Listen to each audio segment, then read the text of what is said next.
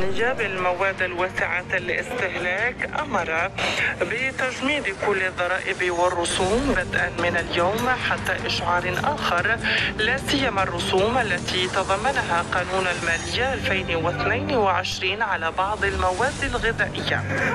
إلغاء كل الضرائب والرسوم على التجارة الإلكترونية والهواتف النقالة الفردية ووسائل الإعلام الآلية الموجهة للاستعمال الفردي. والمؤسسات الناشئة والاكتفاء بالتعريفات المقننة حاليا.